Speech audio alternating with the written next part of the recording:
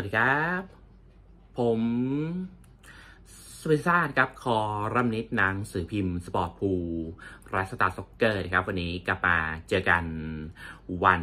อาทิตย์ ที่ 12 มิถุนายนนะครับ วันนี้โปรแกรมฟุตบอลมีความน่าสนใจเยอะเหมือนเช่นเดิมนะครับ ในส่วนของ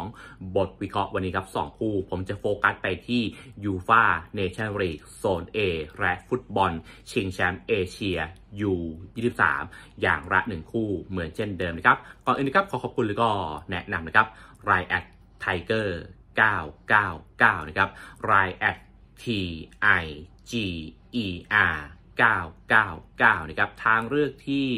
มั่นคงปลอดภัย ครบครัน และตอบโจทย์ทุกอย่างที่ท่านต้องการ รับรองว่าไม่มีผิดหวังนะครับ ฝากไว้ที่ไลน์แอดไทเกอร์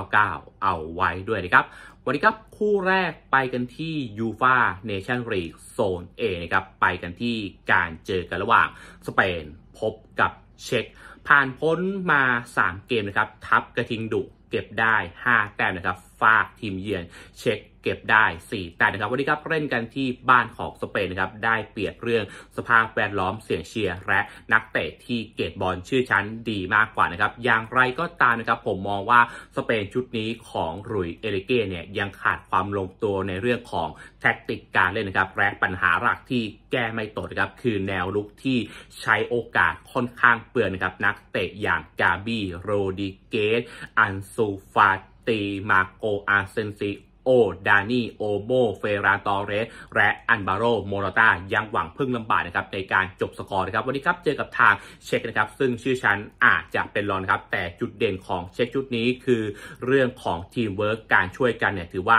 ยอดเยี่ยมเป็นอย่างยิ่งนะครับ แท็กติก 3-4-3 ของกุนซือยาโรสลาฟซิลฮาวีค่อนข้างลงล็อกนะครับ จังหวะโต้กลับจากพวกอดัมฮาโรเซกยาน อาคุชตานะครับแล้วก็ยาคุบเปเซกเนี่ยถือว่าหวังผลได้แล้วก็เกมรับชุดนี้ถือว่าเหนียวแน่นนะครับกำแพงคู่นี้ก็เปิดมาให้ที่สเปนนะครับเป็นต่อที่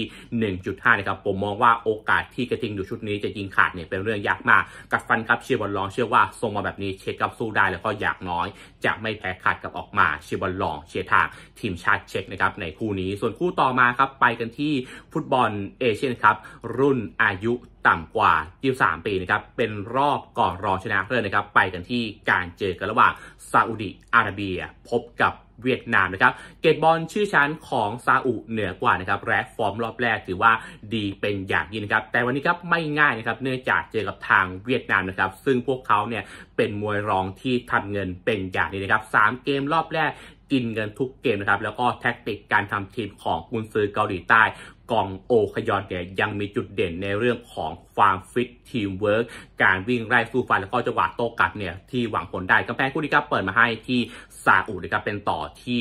1.25 นะครับ โอกาสที่ซาอุเนี่ยจะยิงขาดในรอบแบบนี้เป็นเรื่องยากมากกัดฟันกับเชียร์บอลรองเชื่อว่าทรงบอลแบบนี้เวียดนามกับสู้ได้แล้วก็อย่างน้อยจะไม่แพ้เรเทในเวลาปกตินะครับเชียร์บอลรองเชียร์ทางเวียดนาม U 23 นะครับวันนี้ครับ2คู่ในคลิปนี้ฟุตบอลคืนวันอาทิตย์นะครับเชียร์เช็ค และเชียร์เวียดนามอยู่ 23 นะครับ ขอทุกท่านเชียร์บอลแบบมีความสุขนะครับเฮงๆว่ารวย ไว้เจอกันใหม่พรุ่งนี้ สวัสดีครับ